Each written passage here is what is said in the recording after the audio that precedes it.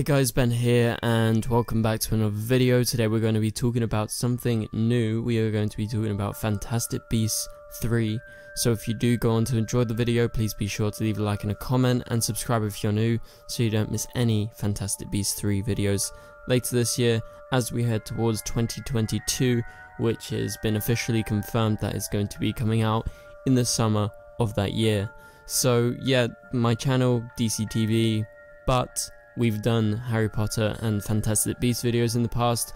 A lot of you guys maybe are coming back because you've seen that past coverage before. Obviously you can go check out that past coverage. But for now we're going to be talking about the untitled third installment of the Fantastic Beasts franchise because we got some major breaking news and I had to talk about it and I know it's been a long time since I made a video on the franchise that's just because the film came out and there wasn't much news in the meantime but now we have got some big breaking news for Fantastic Beasts number 3 and the news is in regards to Johnny Depp. And so as you guys know at the end of Fantastic Beasts and Where to Find Them, Johnny Depp was revealed to be Grindelwald. That was his real look, that was his real identity and that continued into second installment of Fantastic Beasts, which was Fantastic Beasts and the Crimes of Grindelwald, which was personally my favorite. I know not as many people liked it compared to the first film, but I really, really liked it and I thought it was amazing. With everything going on right now in regards to Johnny Depp, few people from the Fantastic Beasts franchise, it's not a surprise that we got this news, and the news is that Johnny Depp was asked to step down from being Gellert Grindelwald in Fantastic Beasts 3 due to what is going on with him right now and what's been going on for a long time, even back in the second film, back in the first film as well. So it was kind of surprising that they stuck with him this long, but due to a court case the other day, I think there was some troubles and Warner Brothers was like, okay, this is it, like we have to get him out of here and we have to recast him. And so that's what they've done. They asked him to step down, he accepted it. I guess maybe he came to some agreement with them and it seemed pretty civil, seemed like he just accepted it and moved on. The big question that you're all here for is what's going to happen with Grindelwald because Grindelwald is a huge character and he's arguably one of the biggest ones in the new installments of Harry Potter franchise as it is continuing past journeys in the wizarding world.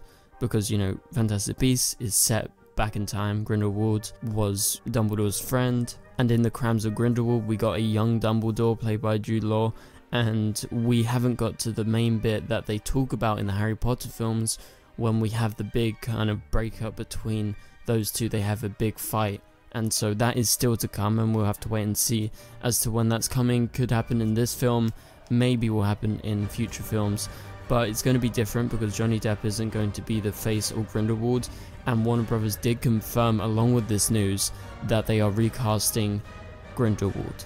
So this brings me to my theory, and I posted about this online on Twitter, because you remember how they first introduced Grindelwald, he wasn't Grindelwald, he was Percival Graves, and then later was revealed and we saw his real identity and he was played by Johnny Depp, but the first person who played him who was Percival Graves, and yes, it wasn't his true look or his true identity, but it's still someone in relation to him. And so that was played by Colin Farrell. He was Percival Graves. And when he first joined on, he knew he would just be in one film.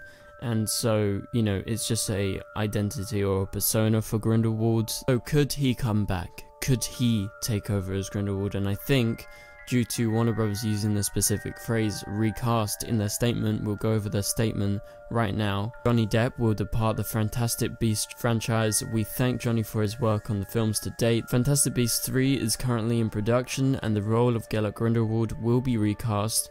The film will debut in theatres worldwide in the summer of 2022 which is a delay from, I believe it was supposed to come out in 2021. Going back to Colin Farrell, and we'll get back to the release date and everything like that, Johnny Depp be recast by the original actor who played him. I think this would be the best bet, and I think it would be the safest bet, because instead of being a full retcon and being like, oh, Grindelwald never looked like this, this is a person we've seen him disguise himself as before, so I think it would make complete sense if they brought Colin Farrell back due to him actually being him so what do you guys think about that? Let me know in the comments down below. I really, really think this is the best way to go if they are recasting. I have this kind of doubt that they might just go for a completely new person, and that would be a shame, I think. This way, there is more of an explanation because it's someone we've seen himself disguise. It's a look that we are familiar with, but if they completely recast, it's going to be very unfamiliar. In terms of Colin's availability, he is currently working on another Warner Brothers production right now. He's working on the Batman, he's playing the Penguin, and so that filming is set to wrap sometime around early next year. And with Fantastic Beasts 3 currently in production and apparently they don't need to reshoot any of the scenes because I don't believe Johnny has actually shot any of the scenes. So that isn't the problem that they have to go back and film another person in the place of him so with him working on the Batman finishing early next year, I'm sure they can work out some sort of schedule so that he can return to London, return to England to shoot Fantastic Beasts 3 where they are currently filming right now and I believe the Batman is over in America. So I think they can make it work considering it's the same production company as Warner Brothers. So surely they can find some sort of way to navigate the schedules between the two projects if Colin Farrell wants to return and if Warner Bros. want him to return, I think they will totally and naturally go for him as their first choice but if he doesn't want to return potentially has the ability to be a bit controversial if he's taking over someone's role but I mean, Johnny took over his role in the first place, so I don't see that as a big problem. And yeah, let's talk about this report from the Wrap on Twitter. They mentioned their source, who is familiar with the situation and is close to the situation, has said that filming for Fantastic Beasts 3 will not be affected, they will just continue shooting and Grindelwald will be in there, but it will be someone else but Johnny actually never shot any of the scenes, so his recasting isn't going to be a big deal. In terms of reshooting anything, it seems like he's just departing the franchise, we'll have someone else in, and they will have the film ready by summer of 2022, when hopefully all the cinemas around the world will be open and it seems that is likely that they're going to make that date considering they are shooting right now. Yes, we're in a pandemic and everything, but it will slow production down a little bit, but it won't slow it down that much and they will have extra time because they've given themselves more time. Because I think originally Fantastic Beasts 3 was set for November 2021, which would make it about three years since Fantastic Beasts 2, so The Crimes of Grindelwald. Now it's intended to come out in the summer of 2022. Not a big surprise considering Warner Brothers' film schedule has shifted completely. There was like a two year gap between Fantastic Beasts and Where to Find Them and Fantastic Beasts and The Crimes of Grindelwald, but now this gap, by the time we get to the release date in 2022, is going to make it nearly four years since Fantastic Beasts and the Crimes of Grindelwald came out. So that is a long delay that I don't think they anticipated because yes, they wanted to get out at least like three years after or something. That is always the aim with these films. Obviously, Harry Potter is a different thing because they were able to get those films out like once every one or two years, and you know, they kind of had this whole mechanism going even though they did announce that Fantastic Beasts is going to have like four films, I think it was, or five maybe, and so they've obviously planned them out.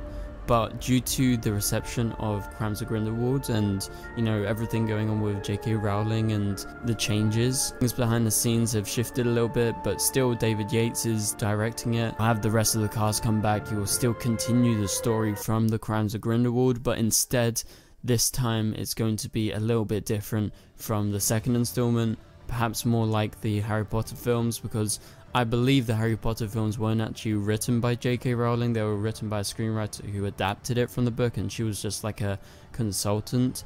And obviously David Yates worked on loads of the Harry Potter films towards the end and he's directed both of these films. So, I mean, overall, I don't think much is going to change in regards to how Fantastic Beasts 3 turns out but I think Colin Farrell coming back would be a really good way to sort out this issue of recasting Grindelwald. They're not just like throwing him away and forgetting about him because he is such a major part of Fantastic Beasts and you know the whole story is literally about him and Newt somehow colliding whereas in the background the main story is really Grindelwald and Dumbledore and their fight and leading towards the events of Harry Potter and the events of Voldemort coming to life and he was before him and obviously that's some sort of inspiration in the harry potter films he actually goes up to him so eventually we gotta get to the point where Harry Potter leaves him off. So that's it for the video guys, thank you guys so much for watching. If you want more Fantastic Beasts videos, please be sure to subscribe. Yes, I'll be making them more and more as we head towards 2022 summer. So it's about like a year and seven to nine months away. I'm sure with them filming there'll be some sort of leaks soon. Then as we get closer to the release date obviously the trailers will come out and i'll break those trailers down as i did with the crimes of grindelwald so thank you guys so much for watching and i'll catch you guys later. Goodbye